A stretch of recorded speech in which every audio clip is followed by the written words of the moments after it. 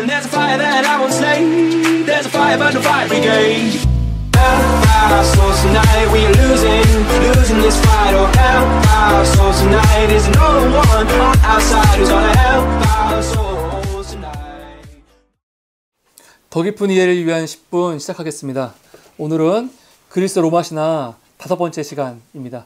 우리가 지난 시간 때 티탄 신들이 어떻게 권력을 잡았는지, 특별히 크로노스가 그의 아버지 우라노스를 우라노스를 죽이면서 성기를 잘랐죠. 죽이면서 이제 왕자에 등극한 이야기까지 했습니다. 이게 티탄 신들의 시대지요.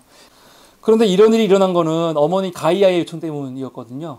어머니가 이런 요청을 그의 아들들한테 한 이유가 뭐였냐면 티탄 신들 말고 가이아가 낳은 자식들 중에는 눈이 하나인 티클로스와 또 팔이 100개였던 헤카톤 케이르 같은 형제들이 있었어요. 삼형제 다.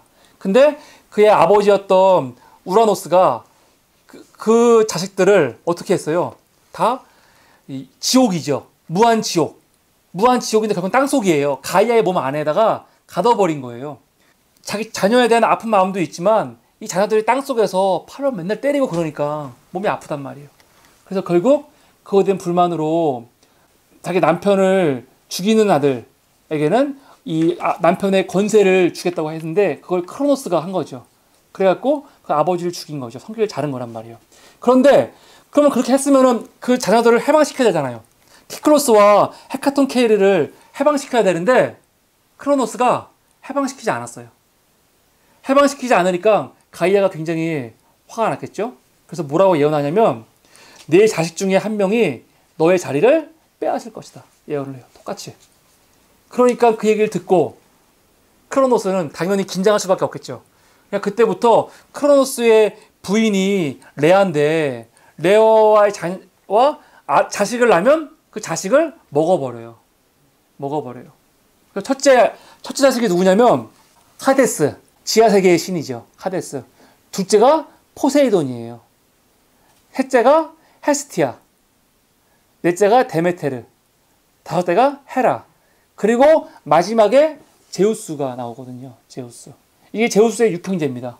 오늘은 제우스의 육형제에 대해서 좀 살펴볼 건데 결국 이렇게 다 먹히니까 첫째부터 헤라까지 다섯 명은 다 먹혔어요. 근데 제우스가 태어난 다음에 제우스도 그 아버지가 먹으려고 하니까 그때는 레아가 도저히 그렇게 할 수가 없어요. 그래서 어떻게 하냐면 돌을 감싸가지고 마치 그 돌이 제우스인 것처럼 하면서 자기 남편에게 갖다 줬죠. 제우스는 아버지 크로노스가 찾지 못하게 지중해 넘어 이대산이라고 있죠. 이대산. 이다산이라고도 하는데 그 이다산으로 보내버려요. 그래서 거기서 제우스는 생활을 하고 그 이다산이 어떤 산이냐면은 우리가 트로이 전쟁 했죠. 트로이 전쟁 때 세 명의 여신이 파리스한테 가갖고 누가 제일 예뻐 물어보잖아요. 그때 물어본 장소가 이다산이에요. 그게 제우스가 자라는 산이거든요. 나머지 그 아들들은 크로노스가 돌을 먹은 다음에 다 토해내요. 그맨 처음에 나오는 아, 자- 자식이 누구냐면 헤라. 그 다음에 데메테르, 헤스티아, 포세이돈, 하데스가 나오는 거죠. 하데스가 원래 첫째였는데 어떻게 돼요? 막내가 되어버리는 거예요, 막내가. 이게 제우스의 형제들이죠. 제우스를 포함해서 여섯 명. 나중에 티탄 신들의 자리를 올림푸스 신들이 차지해요. 그 올림피스 신들이 그리스 신화의 주인공이거든요. 그 신이 몇 명이에요? 12지신. 12명이에요. 티탄 신도 12명. 올림푸스 신도 12명이죠. 근데 이스라엘 가면요, 12지파죠. 신약에 오면 12 사도예요. 10이라는 숫자가 고대에 가면은 굉장히 완전한 수를 가리키는 상징이었다는 걸 알 수 있죠. 12가 뭔가를 이루는. 그런데 이그 12지신 중에서 12지신이 어떻게 나뉘냐면은 6명은 제우스를 포함한 제우스의 형제들.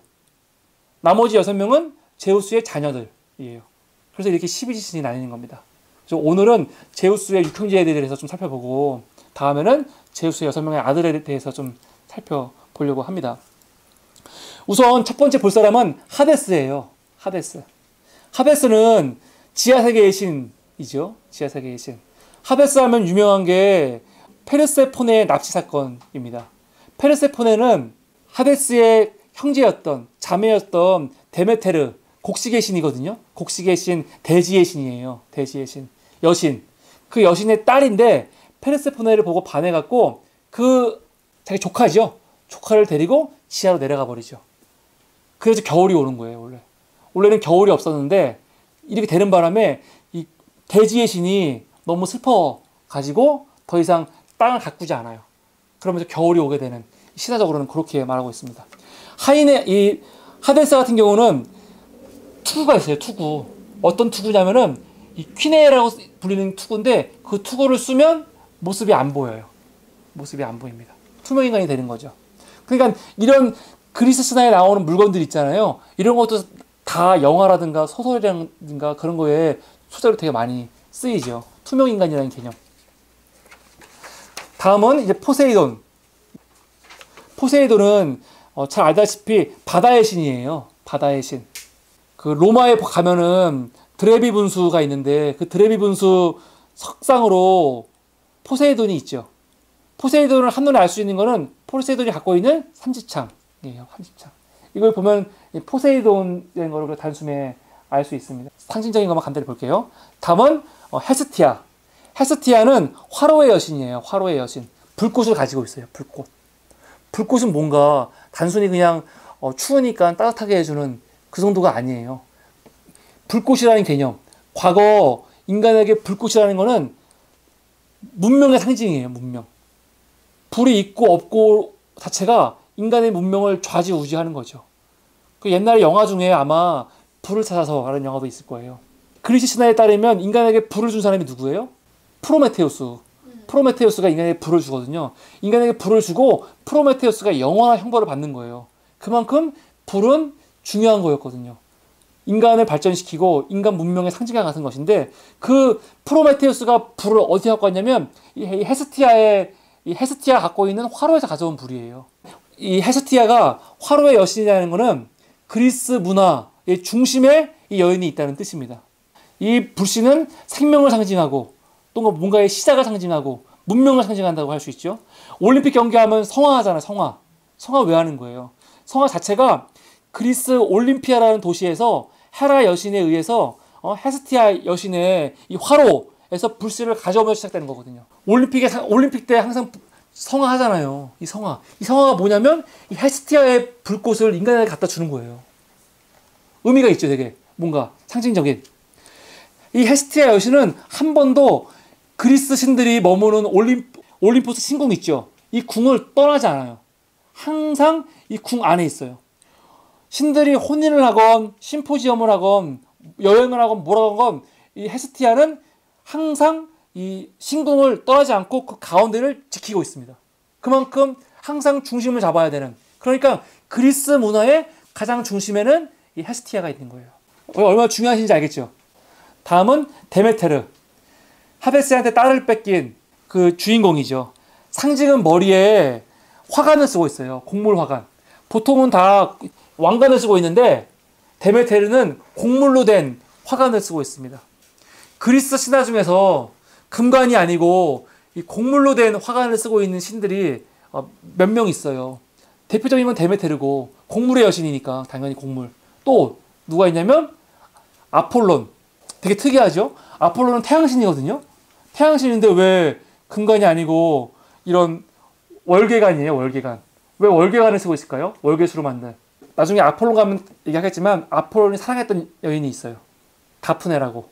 근데 이 다프네는 아폴론을 너무너무 싫어했어요. 그래서 아폴론이 다프네를 잡으려는 순간 본인이 기도를 해서 나를 보호해달라고 해서 이 여인 다프네가 월계수가 돼버려요. 나무가 돼버려요. 아폴론이 너무 슬퍼갖고 내가 당신을 영원한 승리의 상징을 만들겠다. 승리의 상징. 그래서 그 월계수로 월계 관을 만들고 올림픽에서 승리, 승리를 하면 뭘 줘요? 월계 관을 주는 거예요. 영광의 상징을 만든 거죠. 되게 어, 슬픈 이야기죠. 슬픈 이야기. 이게 재밌어요. 왜 이런 일이 벌어졌는지 나중에 한번 보겠습니다. 그리고 이 월계관, 곡물로 된 관을 쓰고 있는 식물을 관 쓰고 있는 또 대표적인 신이 누구예요? 디오니소스. 디오니소스. 술의 신이잖아요. 술의 신. 그러니까 머리에 이 포도 넝쿨을 하고 있는 경우가 많죠. 포도 넝쿨을 하고 있습니다. 데메테르가 재밌는 게 데메테르가 데메테르라는 말이 로마로 가면 또 바뀌어요. 예를 들어서 헤라는 로마로 가면 주노가 되는 거예요. 주노. 제우스가 로마로 가면 뭐가 돼요? 주피터가 된단 말이에요. 데메테르가 로마로 가면 뭐가 되는지 아세요? 케레스가 돼요. 케레스. 케레스가 영어로 가면 뭐가 돼요? 시리얼이 되는 거예요. 시리얼. 우리가 아침에 먹는 시리얼 있잖아요. 그 시리얼 데메테르예요. 왜? 곡물의 여신이니까 단어가 그렇게 나오는 거죠. 다음은 헤라 여신. 헤라 여신이 제우스의 부인이죠. 우리는 헤라 여신이라고 하면은 헤라 여신은요 질투가 되게 심한 여신이에요. 질투가 그러니까 되게 무서운 여신이에요. 제우스가 워낙 바람을 많이 피니까 되게 무서운 여신이라고요. 그래서 사실은 헤라 여신 가만히 보면 되게 나쁜 여신 같아. 그런데 헤라 여신이 그럴 수밖에 없는 이유가 있어요. 왜? 헤라 여신은 결혼의 신이에요. 결혼. 그리고 신성한 결혼을 상징하는 여신이고 또 출산을 장려하는 신이거든요. 그만큼 그리스 사람들이 어떻게 보면은 가정을 중요시 여겼다는 뜻이죠. 가정을. 가정을 중요시 여기는데 남자 남자의 바람기가 가정을 파괴할 수 있잖아요. 그거에 대해서 분노하는 신인 거예요. 그러니까, 그러니까 그리스라는 곳이 그리스만 신화만 보면은 굉장히 신들이 문란하고 참 이상해요. 그런데 헤라 여신이 존재하기 때문에 그리스 신화 안에서 어, 가정의 소중함 또 가정을 지켜야 한다는 거 그런 의미가 담겨 있다고 할 수 있죠. 헤라 여신. 헤라 여신을 상징하는 거는 우선 굉장히 아마 가장 크리하고 화려한 홀, 이 홀이 있고 또 하나 잘 봐야 되는 게 왼손에 보세요. 원반을 들고 있어요, 원반. 그래서 결혼하면은 결혼할 때 약혼 하나 결혼할 때 뭐 선물해요? 반지 상징하죠, 반지. 반지가 하라 여신의 저 원반을 상징한다고 얘기를 해요. 왜 원반일까요? 원이니까 어떻게 해요? 처음과 끝이 없죠.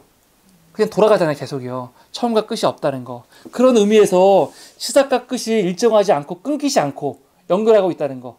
그러니까 결혼 생활이라는 거는 끊기지 않고 계속 가야 된다는 거. 그런 의미가 이 안에 있는 거죠. 그러니까 하라 여신의 관점에서 보면 이혼 같은 건 있을 수가 없겠죠.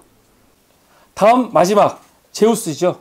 제우스는 광명과 빛, 천둥의 신이죠. 뭐 왜? 제우스가 상징하는 가장 큰 무기가 뭡니까? 가장 가장 큰 홀을 들고 있죠. 헤라보다 더 큰 홀을 들고 있는데 홀보다도 제우스 하면 떠오르는 게 뭐냐면 번개예요. 번개. 번개를 들고 있거든요. 하늘을 상징하고 그리고 모든 농업 국가들을 제일 중요한 번개, 바람, 천둥을 다 주관하는 게 바로 어, 제우스죠. 이 제우스는 아주 아름다운 머릿결을 가지고 있는 걸로 알려져 있죠. 그의 어머니였던 레아 여신의 기지에 의해서 크로노스에게 섬겨지지 않고 어디로 보내져요? 지중해 건너 있는 그 이다산, 어? 이대산으로 보내셔서 거기서 찬양을 돌보는 요정들이 있어요. 아말테레이아라고 그 요정들에 의해서 이 제우스가 키워지는 거예요. 영웅 신화들 보면 이름이 되게 많아요. 영웅 신화들 보면은 태어날 때부터 아주 어떤 운명이냐면 자, 이 아버지와 어머니를 뭐 죽일 운명, 그럼 나라를 망하게 할 운명 이런 걸 갖고 태어난 아들들이 있어요. 그러면 여지없이 부모들이 쟤를 죽이려고 하거나 아버지가 그러면 어머니가 다른 곳으로 빼돌린다거나 그런 식으로 대표적인 게 오이, 오이디푸스 같은 경우 오이디푸스 오이디푸스도 어떻게 했어요? 아버지를 죽이고 어머니를 어? 부인으로 맞은 운명이잖아요. 그래서 결국 이런 제우스와 비슷하게 버려진다고요. 그러니까 영웅들의 이런 모든 신화들은 어떻게 보면 제우스 신화에서 가지고 온 걸 수 있죠.